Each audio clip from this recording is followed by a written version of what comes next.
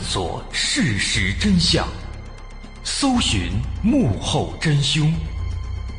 欢迎收听《绝密档案》。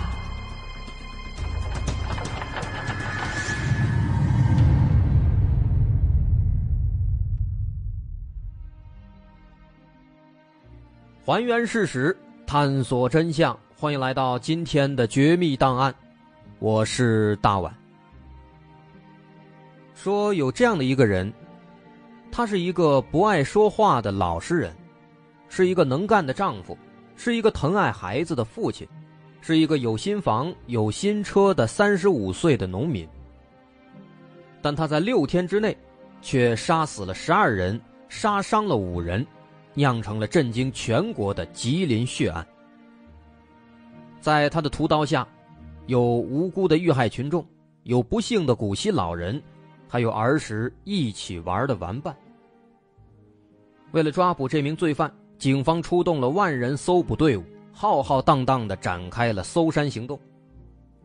而这个人在被抓获之后，却高声呼喊自己是被逼杀人的。难道说这其中另有隐情吗？一个老实人为什么一夜之间变成了杀人魔王呢？今天咱们就透过这起案件的主人公的复杂的一生，来说说这起震惊全国的案件。二零零六年九月二十三号早晨，吉林省柳河县柳南乡通沟村的村民们一觉醒来，跟往常一样，开始了一天的劳作。在这座村子的村东头，住着一位村里的成功人士，他叫石月军。通俗来讲，石月军的职业是个屠夫，靠着屠宰生猪、卖猪肉逐渐发家致富。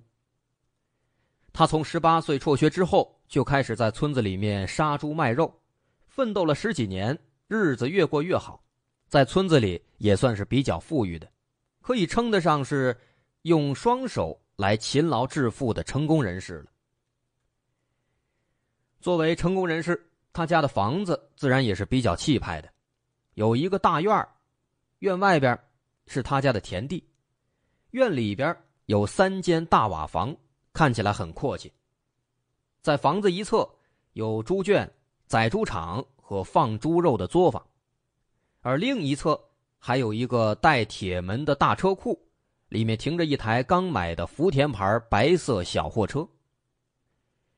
那两年猪肉生意很好，石月军又能干，因此挣了一些钱，一家人可以说生活的是有滋有味有头有脸。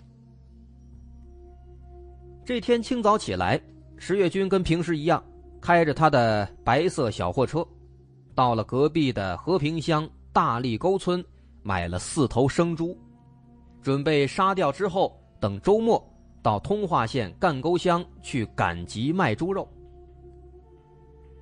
四头生猪拉回来，把这些猪都放到了自家猪圈里，然后他开始磨刀霍霍，准备开工。这个石月军一看就是个老实人，他这辈子没什么爱好，除了杀猪就只喜欢听歌了，因此他在杀猪之前都喜欢先放两首歌。来助助兴，然后再开始工作。但此时的石月军，虽然一边放着歌，气氛挺愉快，可他的内心当中却是相当的烦躁。这是因为，在他的心里一直都憋着一件事儿。什么事儿呢？在前段时间，通化县二密镇有一个他的同行，也是一个屠宰户。叫李振军。这个李振军仗着家里有关系，把二密镇的屠宰点给承包了。为什么要承包这个屠宰点呢？很多朋友可能不了解，那段时间刚刚颁布了一个新规定，为了保证商品猪肉的安全健康，周围的这个临近村镇的肉贩子都要到二密镇的屠宰点去进行集中屠宰。集中屠宰完，进行检疫之后，才允许到市场上销售。这为的是保障生猪的安全健康。但是这个屠宰点给你杀猪、给你检疫，也不能白干，需要交屠宰费、交检疫费，一头猪总共要交六十三块钱。所以那个李振军呢，就把屠宰点给承包了，因为他感觉这里面有利可图，通过这个屠宰费和检疫费可以拿到一些抽成，这不白赚钱吗？但是这样的一个新规定，对于石月军这样的普通屠户来说，显然就不那么友好了。本来平时自己在家里边自己杀自己卖，一分钱不用交，现在出了这样的一个规定，这猪还没卖出去，就先得给人家掏钱，让人家杀，让人家检疫，这得少赚多少钱啊！所以石月军的心里边非常不高兴。当然，这还是次要原因，最主要的原因，是因为承包屠宰点的这个人，这个李振军。用石月军的话来说，这个李振军啊，就是一臭无赖。他经常高价收费，人家检疫费收五十，他收八十。有好几次有人不满意，去跟他理论，但没想到李振军二话不说，出手打人，给人家打的鼻青脸肿不说。末了还得乖乖的按规矩按数交钱。经过这些无良的承包人层层剥削下来，十月军杀一头猪，就挣不了几个钱了。可是不去屠宰点杀猪的话呢，他又不能获得这个检疫合格证明，这猪肉又很难卖出去。更何况十月军他也惹不起李振军，因此实在没办法，他只好乖乖的。去屠宰点杀猪。那么在最开始的时候，他为了让自己能够减少一点损失，每次去这个屠宰点杀猪之前，他都会在家里边自己先杀一头，然后带着肉，再拉着另一头没有杀的猪到屠宰点去宰杀检疫。说白了，他是想把自己杀的这头猪的猪肉。再掺到这个屠宰点杀的那个猪的猪肉里面，假装这两头猪都是屠宰点杀的，都检疫了。那这样的话，不就能够省下一头猪的这个检疫和屠杀费用了吗？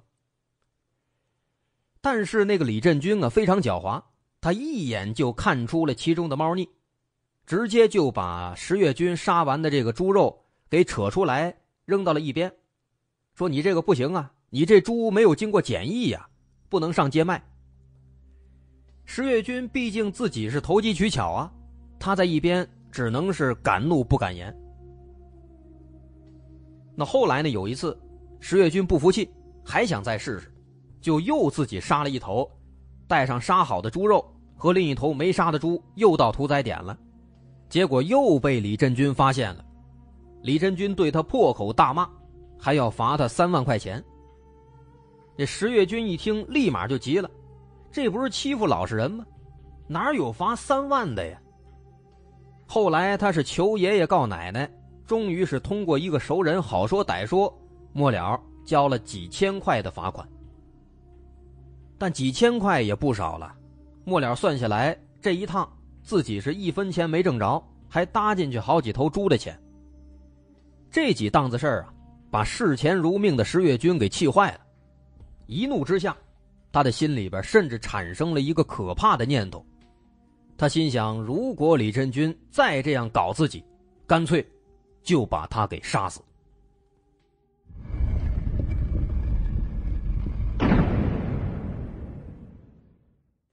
看着圈里的猪，算着减少的利润，随着时间推移，内心的愤怒和复仇的怒火让石月军茶饭不思，整天烦躁不安。家人感到奇怪，就带着他去看了心理医生。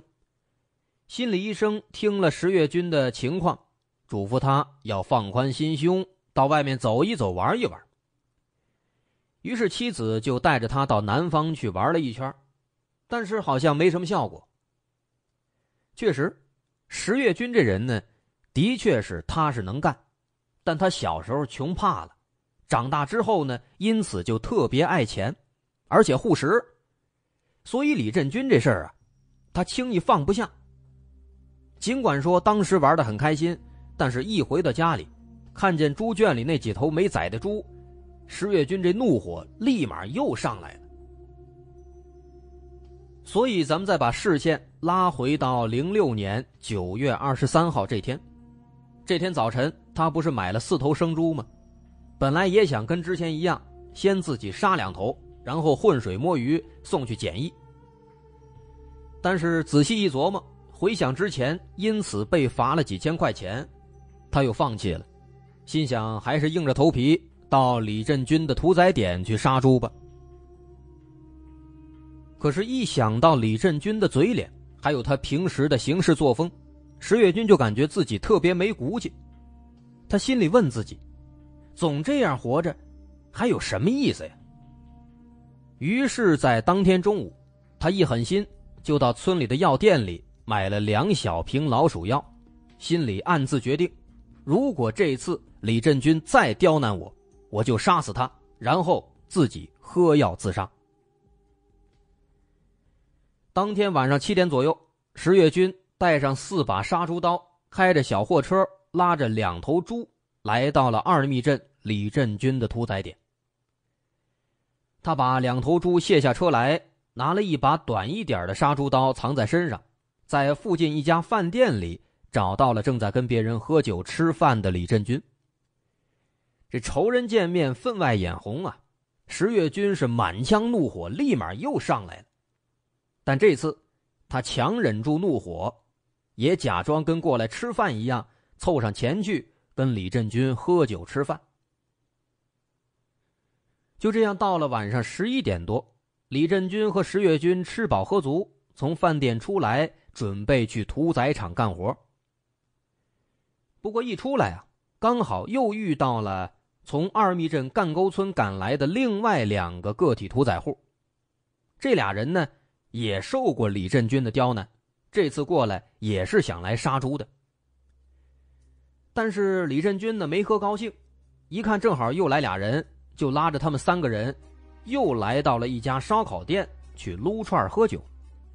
你说你撸就撸吧，喝就喝吧，但这李振军啊还没完，在这个撸串期间，他当着另外两个人的面厉声厉色的问石月军：“说小石啊。”这回你没有把提前宰好的猪又给带来吧？石月军回答说：“没带，没有。”但是没想到啊，这李振军不依不挠，接着说：“这回啊，你要是再敢带，我还一样收拾你。”李振军说完这句话，也没拿正眼看他，自顾自的继续喝酒吃肉。但是他根本想不到。平时不声不响、老老实实的石月军，此时正盘算着如何要他的命呢。其实石月军早就按捺不住了，好在旁边的另外两个屠夫一直在拉着石月军，他在酒桌上这才强咽下了这口气。就这样，几个人一直吃到了二十四号凌晨。从烧烤店里出来之后，这李振军也不知道要干嘛。非让其他三个人上自己的车。这三个人平时也都听惯了李振军的吆喝了，一听也就乖乖的上了他的车了。石月军呢，正好就坐在副驾驶，然后李振军二话不说就开车带着他们往村子外边开。在开到二密镇大连川村的时候，李振军突然把车停下，让后座上的另外俩人下车。说自己跟石月军要单独谈谈。那俩人下车以后，李振军又发动汽车，带着石月军又往前开了五百多米才停下。停下车以后呢，这个石月军就发现了，李振军在停车以后转过身要去后座上拿东西。一看这个动作，石月军立马心慌了，心想这个李振军。肯定也是看自己不顺眼，要拿家伙收拾自己的。那么，面对身体强壮的李振军，石月军知道自己如果正面刚，肯定是打不过他，必须先下手为强。想到这儿呢，再一看这李振军的丑恶嘴脸，石月军一狠心，嗖的一声，从背后抽出了那把杀猪刀，二话不说，对着李振军的腹部。就狠狠的捅了下去。李振军突然挨了一刀，疼痛不已，他赶紧抓住石月军的手，说软话求饶，意思说以后啊再也不管你的猪肉了，想在哪儿杀就在哪儿杀，钱我也不收了，你饶了我吧。但是此时这石月军哪儿还听得进去这些话呢？他的脑子里只有平时被李振军欺负的种种场景，他越想越气，也不顾李振军的阻拦，准备抽出刀来杀死李振军。这个李振军，别看身高体壮的，但他胆儿小，一看这个石月军的这个眼色、这表情，马上就发现不对劲了，赶紧跳车往后跑。但他毕竟受伤了，刚跑了没几句。直接就跌倒在了路边的沟里。石月军二话不说追上来，狠狠的对着李振军是连刺数刀，最终彻底把他捅死了。之后，石月军跳上李振军的车，驶向了二密镇。但就在这个过程当中，最可怕的情况出现了。开车途中。已经丧失理智的石月军想起了平日里跟自己有过矛盾的人，还有那些曾经欺负过自己的人。他心想，反正现在已经杀人了，横竖都是一个死，不如把仇人全部杀死，然后再自杀。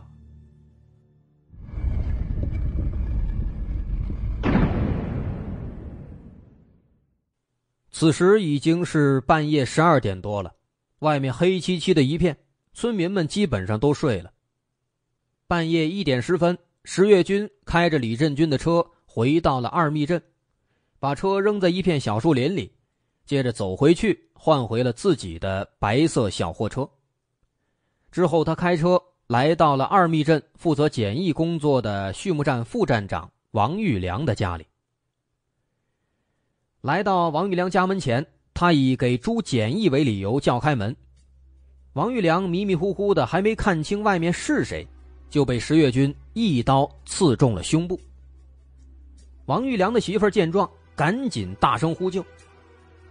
可石月军一看，这屋里竟然还有人，于是冲进屋里，又把他媳妇儿给捅倒在了床上。此时，住在隔壁的王玉良的父母听到喊声，也相继跑过来，但都被石月军埋伏在门后给活活捅死了。